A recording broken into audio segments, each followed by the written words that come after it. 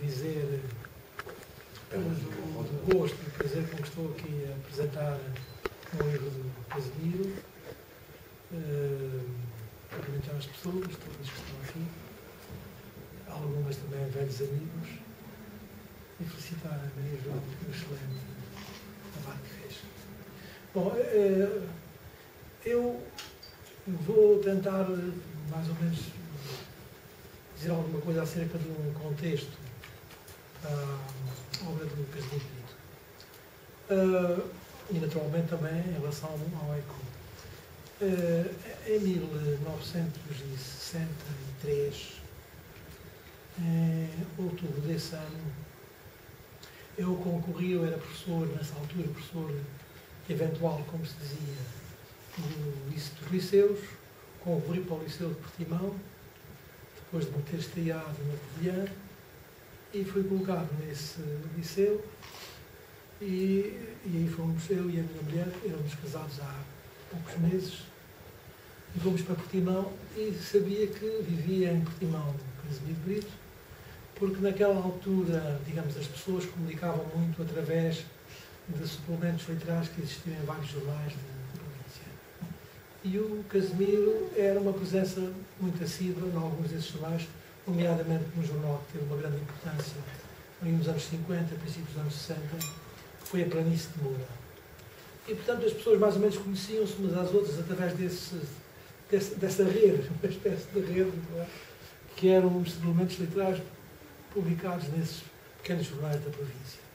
Bom, uh, então eu fui uh, ter com o Casimiro ao Banco Pinto Vicente Maior, onde ele era, ele era o subgerente desse banco, não é? E eu fui ter lá eu não me conhecia, não nos conhecíamos pessoalmente, pronto, e a partir disso, realmente, a nossa amizade começou e cimentou-se ao longo dos anos. É? Um aspecto curioso é que, digamos, a, a minha geração é destes poetas que se reuniram naquele conjunto de plaquetes que é a poesia de Santaion e que há, pouco, há, poucos, há poucos anos comemoramos o cinquentenário, a publicação dessa desse conjunto de plaquetes. Eh, eu tinha essa, tinha já nessa altura a poesia Sandeiro, que me foi oferecida para, para Fiamma, que tinha sido minha colega na faculdade no primeiro ano de Germânicas, e as pessoas da poesia Sandeiro, conhecia-as todas, todas, inclusive conhecia Luísa Neto Jorge antes dela ter ido para a faculdade, e, a única pessoa que não conhecia, só mais tarde vinha a conhecer, era a Maria Teresa Lopes. Todos os outros realmente foram pessoas da minha geração e cujo percurso foi acompanhando assim com muito gosto e muito identificado com aquilo que eles faziam. O, o, o Casimiro uh, uh, era já um, um, sujeito muito, muito interessado, não é assim? Digamos que já tinha algumas coisas publicadas, publicado primeiro em 1957, quando eu o conheci, não é? Uh, era, digamos, era muito ativo como poeta, mas era um homem que tinha já uma coleção de poesia, mesmo internacional, apreciável, porque ele, inclusive, tinha uma coisa que era algum dinheiro para, satisfazer esses rostos que tinha por essas, por essa, essas publicações a nível internacional. E, e, e esta, esta questão do, do, dos haikus, ou dos haikai, uh, aliás, não está muito estudada em Portugal em termos diacrónicos, e não se fez que eu saiba um estudo sobre a introdução deste género dentro do orientalismo português, nós também tivemos naturalmente o nosso orientalismo, como seria de esperar, e, e, e, e realmente eh, não está feita essa história. Eh, estou-me a lembrar, por exemplo, de um Zaikai do Álvaro, Álvaro Feijó, um poeta neorrealista, não é, que publicou na coleção, né, a poesia foi publicada naquela coleção de, de, de, de Novo Cancioneiro, Coimbra, não é, que é o manifesto do neorrealismo, não é? O Pessoa também parece que andou vagamente por essas, por essas águas, não é? Mas o texto mais conhecido do Pessoa em termos de orientalismo, naturalmente, é, é o famoso opiário do Álvaro eh, portanto, sabe fazer essa história, mas nessa história, seguramente, um dos papéis mais importantes é o do Casimiro e é um dos, dos precursores em termos mais recentes, não é?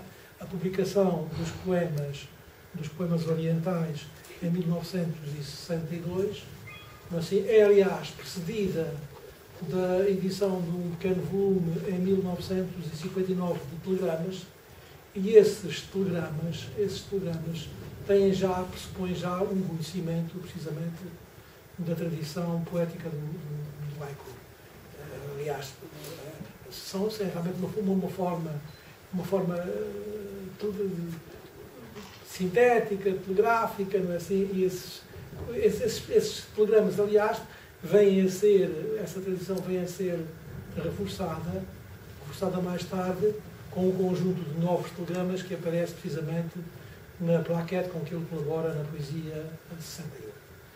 Eh, uma das coisas que, que, que um, dos, um dos riscos que correm os poetas que aparecem em grupo, como no caso da poesia 61 e em outras situações, é haver depois uma tendência em termos de história literária, ou de história, de, digamos, da evolução da poesia de um país, é a tendência que há da parte do historiador para os pôr dentro do mesmo saco. E eles, efetivamente, são muito diferentes. Eh, quando a Colóquio Letras publicou há uns anos, precisamente, um, um número comemorativo da poesia de 71, no artigo que eu escrevi, tive a preocupação, precisamente, de salientar a diferença existente entre estes, estes, estes poetas, que, aliás, depois, digamos, é, é, uma, é uma diferença que o percurso deles vem confirmar de uma forma muito muito clara. Ora, eh, eh, digamos, eh, este, este, esta, esta incursão pelos telegramas que pressupõem a leitura, o conhecimento da tradição do haiku. A publicação deste livro, que são versões, assim, de alguns textos clássicos do, do, do haiku, de autores japoneses, feitos naturalmente na altura a partir de, de, de outras línguas, de línguas ocidentais, ou, ou do francês, ou do, ou, ou do inglês, vem ao encontro, vem ao encontro de uma dimensão muito importante da poesia do Casimiro Brito, que é a ideia da depuração, não é? Da concentração expressiva. Aliás, toda, digamos, todos os poetas a esse respeito, há uma convergência deles dos poetas da, da poesia de 61, que é uma, uma tendência que o, o Gastão Cruz, que era, de alguma forma, o porta-voz deste deste grupo chamou, chamou uma tendência antidiscursivista, não é? Ou antidiscursiva, não é? De uma concentração uh, expressiva que não se processa neles da mesma forma, não é? que se processa de formas diferentes.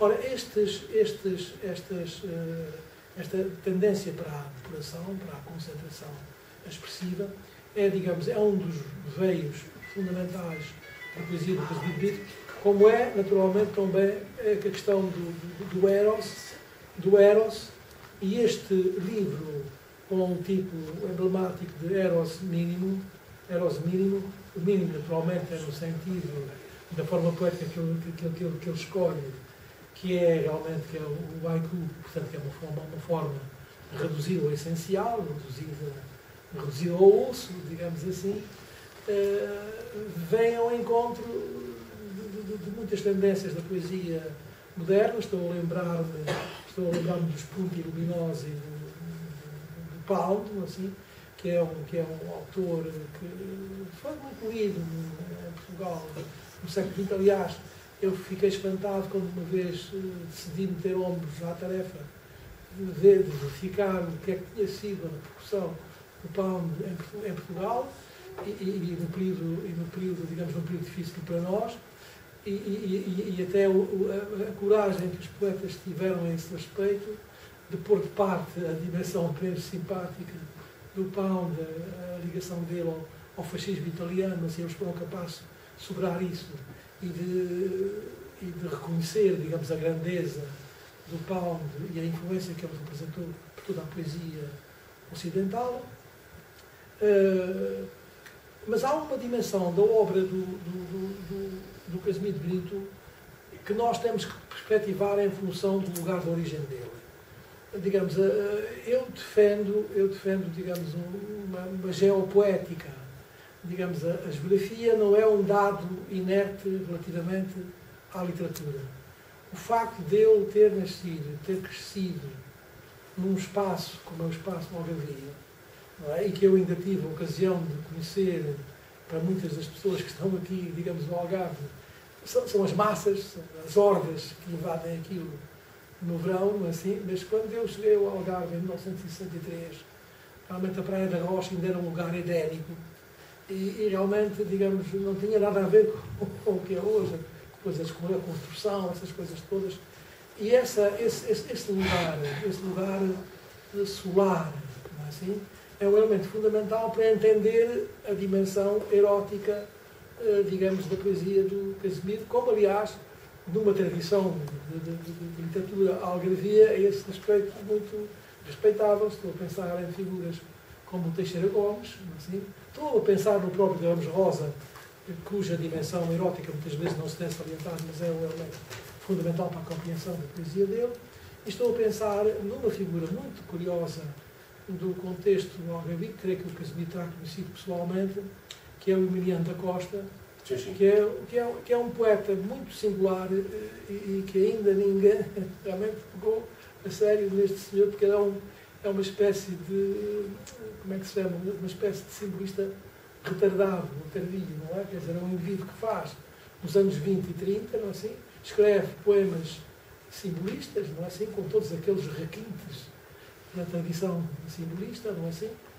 E que, e que precisamente, uh, uh, digamos, uh, pega-se às vezes da dimensão regional deles. Houve uma vez uma tese de mestrado, lembro de, de Universidade Nova, ter, ter feito parte do júri de uma tese de mestrado, que era interessante, a tese era interessante, mas não a senhora que fez a tese não se apercebeu realmente da singularidade de, daquele poeta, porque ele não é propriamente um epígono do simbolismo, é realmente um poeta fortíssimo e foi, uh, foi um, um, um, dos membros de uma publicação a que o, a que o Casimiro esteve ligado também nessa fase final dos anos 50 e princípios dos anos 60, que são os cadernos do meio-dia. Os cadernos do meio-dia publicaram-se entre 58 e, e 60, 1960, e foi um dos membros da direção, o Fernando Belencastre, que organizou uma antologia uh, do, do, do, do, do, do esta, esta, esta, o Casimiro, o Casimiro desde, desde o princípio da carreira dele, digamos, é, é, é, é um poeta muito singular a vários, vários, a vários tipos, é assim? É, nesta dimensão do haiku, é efetivamente um, precursor. Digamos, foi, em termos mais recentes, a, a primeira pessoa que pegou a sério nessa, nessa tradição, porque os outros são, do que eu conheço, são coisas muito esporádicas, mesmo no caso do, Álvaro Feijó, mas há uma dimensão do Casimiro que é a de organização. Quer dizer, é, digamos, é um homem que não, não se limita a escrever e a, e a, e a produzir abundantemente, não é assim? Basta ver a, a, bibliografia dele, que realmente é uma coisa uh, impressionante, em, em vários géneros, e quando ele fala das coisas que tem para comunicar, então a gente fica aterrado, porque ele realmente fala sempre em, em não, sei, não sei quantos volumes, não sei quantas páginas e tal, isto, isto sem qualquer espécie de, de, de ironia, estou a referir esta, esta dimensão. Uh, uh, o, o, Casemiro, desde o princípio, tem, tem, tem esta, esta preocupação de uma intervenção literária, não é assim? Que, que, que, que, é, que é realmente uma pessoa que se joga inteiramente também nessa, nesse aspecto, patrocinou muitas coisas, não é? Quer dizer, coleções, organização de volumes, etc., não é? E, e, e nos últimos anos, não é, digamos, exerceu um papel fundamental à frente do campo público português, não é assim? E isso também lhe permitiu, digamos, o alargamento dos contactos internacionais que tinha já, porque tinha já essa, essa dimensão cosmopolita, quando eu conheci, já era um indivíduo muito, muito informado do que estava a passar eh, no contexto, no contexto europeu, latino-americano, assim, sei lá, por exemplo, uma das primeiras pessoas que eu ouvi falar do Octávio Paz, que é autor, como se sabe, de um dos textos fundamentais sobre o haiku, foi precisamente o Casimiro. Uh, a liberdade de barra ou palavra, aliás, se não estou em erro até, foi um exemplar que eu tinha abaixo que, que, que, me deu, que me permitiu conhecer nessa altura a poesia do, do Pasto, de que só conhecia na, na altura alguns, alguns ensaios. Uh, isto, uh, haveria muita coisa a dizer em relação à questão do, do, do, do erótico, não é? E o, o livro do Casemiro seria um livro importante para a gente ver uh, como é problemático estabelecer fronteiras em relação ao que é realmente o, o erótico, não é? Digamos, a, a, as fronteiras entre o erótico e outras dimensões, não é assim? Não, vale a pena estar agora aqui a referir, não é assim? São, são realmente fronteiras muito fluidas e, e, e digamos, e o, e o, e o Casimiro a esse respeito é para, para mentalidades mais período, assim, pisará muitas vezes o risco em relação a essa, essa dimensão erótica, mas, mas esta, esta a, a lírica amorosa, a lírica amorosa é realmente, desde o princípio, um traço fundamental da poesia dele e, e está, em meu entender, está muito ligada a essa solaridade, digamos assim, de nudez edénica, não é assim? Do espaço em que ele, em que ele eh, nasceu, se formou como homem e que, digamos, que, que, que, que marcou de uma forma indelével o seu próprio percurso, não é? Essa, essa, essa dimensão de, de, de, dos sentidos, a importância dos sentidos, a importância da sensualidade, a importância do erotismo, tudo isto tem a ver realmente com um espaço, com um espaço que é propiciador precisamente do desenvolvimento destas dimensões da vivência, da vivência humana. Uh, o, haiku uh, é uma forma é uma forma que digamos um poeta também ao mesmo tempo deve cultivar com uma certa prudência porque é, é uma é uma forma que corre em que se corre facilmente o risco do esgotamento, porque a certa altura é impossível, digamos, aguentar a, a epifania, não é? Aquela, aquela digamos, o, o, o momento, o momento que, que, que, que, é precisamente o desencadear do ato poético, não é? Essa, essa força que atinge o poeta e, e, e quer dizer, num conjunto de 300 e tal, naturalmente há, há, pode haver uma certa irregularidade, isso é, é natural. Aliás, Aliás, quer dizer, eh, eh, não há a esse respeito, salvo muito poucas exceções, livros perfeitos, não é? Sei lá, eu conheço a mensagem, ou, um pouco mais agora em termos modernos, não é? Porque, digamos, a, a poesia não deve, não deve temer precisamente, eh, digamos, essa, essa, essa descida, às vezes, de planos, não é? Haverá, foi um, foi um livro que eu gostei, que eu gostei bastante, não é assim? Há um, há um ou outro texto assim, que acho menos, menos conseguido, mas do modo geral, do modo geral digamos, a, a, a força e a genuinidade de, de, de, da, inspiração, da força inspiradora do Casimiro, é qualquer coisa de que não se pode duvidar e da importância do seu uh, testemunho e da sua presença na lírica portuguesa do, do século XX, que há aqui, efetivamente, considerarem diversos planos como ele fez questão, aliás, de salientar, porque, eh, aliás, os poetas, não, nenhum poeta gosta naturalmente que as pessoas o fixem numa gaveta, não é? O poeta de amor, não sei o quê. Eu lembro-me de quando era rapazinho e, e, e, ia, a férias, ia a férias a, Porto Alegre e estava com o Régio, o Régio estava daqueles dos recitais que dizia que os tipos recitassem as mesmas coisas. O Cântico Negro e a Tomada de Porto Alegre, não é? Quer dizer, nenhum poeta naturalmente gosta que, seja, que, a sura, que a sua obra seja limitada a uma determinada dimensão. É, é, esta, esta dimensão amorosa realmente é muito, é muito forte, a tendência da depuração é, mas ao mesmo tempo há outras dimensões que vários livros do Casimiro testemunham. Estou a lembrar, por exemplo, do, do, do, do Labirintos, não é? Por outro lado, ele é um poeta que tem tido a preocupação ao longo, ao longo dos anos de constantemente intervir na sua obra, de a reorganizar, de a apresentar de uma outra forma, não é? E, e, e quer dizer, é, é, é, muito autorreflexivo. É um poeta muito autorreflexivo.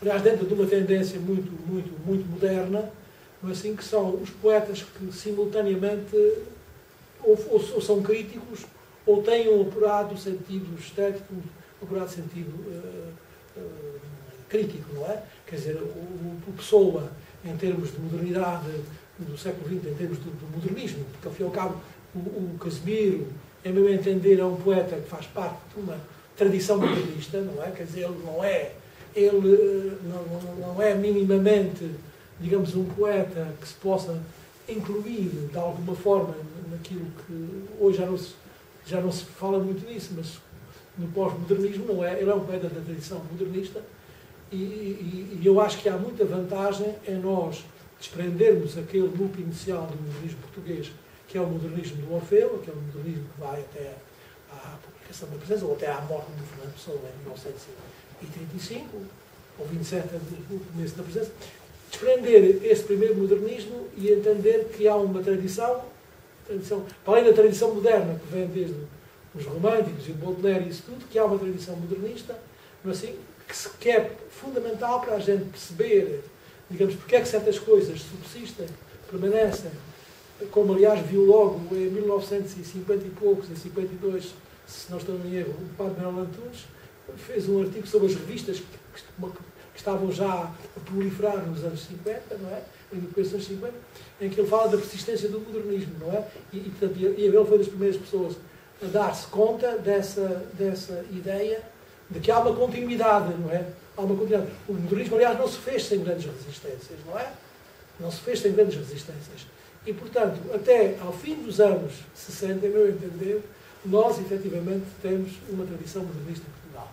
E o Casimiro insere-se precisamente dentro dessa fase, dentro dessa fase do tardo-modernismo, do, do, do, modernismo tardio dos anos 60, que frequentemente assume uma, uma dimensão vanguardista, no caso das, das, das, das da poesia 61, isso é muito evidente, mas, digamos, o, Casimiro não é propriamente da tradição da vanguarda, não é da tradição da disrupção do texto, não é? Que a gente encontra, por exemplo, no, no, primeiro Gastão, no primeiro Gastão Cruz. É, sim, sim. Eu não sei se concorda comigo, mas eu acho que o Casimiro também, por exemplo, fez aquele percurso dos, outros, dos neorrealistas e nunca, sim, nunca andou sim, não, portanto, não. foi um percurso muito singular sim, também, sim, sim, porque ao mesmo tempo que os neorrealistas andavam todos a fazer a mesma coisa, o que não, claro. destacava não, pois, não, pois, é evidente. É, é, evidente. é um grande Não, mas é, é, é, é interessante, é interessante, é interessante verificar que estes poetas, por exemplo, os poetas da poesia 61, em relação a esta observação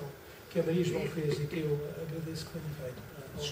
Não, não, não, não, fez muito bem a fazer a observação. Uh, esta, os, os, os, poetas da poesia 61, que parecem, digamos, quando aparece o volume, eu lembro de recensões que li na altura, estou a lembrar-me de uma coisa publicada no Diário Ilustrado, que era um jornal que se publicava à hora do almoço do Alfredo Margarido, a dar uma grande tareia nos jovens, nos jovens, nos jovens poetas. Uh, quer dizer, alguns, algumas pessoas estavam convencidas que aquilo era uma coisa quebrava de alguma forma com a tradição realista. E, e, não era verdade. Não era verdade. Aliás, é muito interessante a gente verificar o que é que se passa no projeto, no trajeto deles todos, no período mais aceso da Guerra Mundial. Todos eles têm, têm o Casimiro tem os jardins de guerra, o, o Gastão Cruz tem a doença, tem a doença, uh, o seu a seu dono, da, da Luísa Neto Jorge, uh, aquelas coisas, aquelas, aqueles poemas do livro de João Zobo, da, Fiana, todos eles, de alguma forma, assim, mostram que, ao fim e ao cabo, há uma dimensão interventiva, há uma dimensão, sob o ponto de vista social e político, que lhes é cara, não é assim? E, portanto, que eles não estão aliados, não estão aliados da circunstância histórica portuguesa, não é? Portanto, quer dizer, este, este cosmopolitismo que a poesia do, do, Brito uh, evidencia, não significa, não significa precisamente um, um quebrar assim, com os nexos, com os nexos nacionais. E, e, e, e, é mesmo em formas como o Arthur, seria possível a gente eh, reconhecer assim, a força dessa tradição nacional, não, é assim? não só em relação à, àquilo que ele, que ele há pouco reivindicava, que é a própria tradição, a própria tradição das, das, das cantigas de amigo, não é assim? Quer dizer, isto é, nós também já temos qualquer coisa de semelhante a isso, não é assim? Com a, com a, com a digamos, a novidade de ser assumido, serem textos assumidos por vozes femininas, não é assim? Que é, que é uma coisa muito, muito, muito interessante, mas que realmente, digamos, há, há, uma, há uma, uma ideia de continuidade Não é assim? Há uma ideia de continuidade na poesia do, do, do, Casemiro que é, que, é, que é importantíssima para a gente, para a gente perceber e que uh, tem a ver não é assim, com um enraizamento, ao fim e ao cabo, no nosso, no nosso mundo, na, na, terra, na terra dele, na nossa terra, não é assim? nas nossas tradições literárias que são riquíssimas do ponto de vista poético, não é assim? E ao mesmo tempo um alargamento aos horizontes universais, não é assim? Que o orientalismo, é assim, de alguma forma também ajuda a explicar.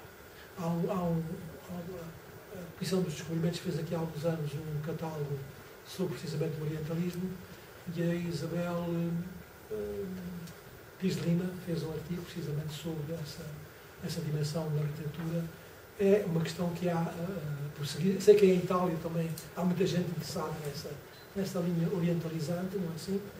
E, e, e pronto, é isso. Eu queria, estas chegas que eu queria trazer para a compreensão de mais este livro do Casimiro. Obrigado.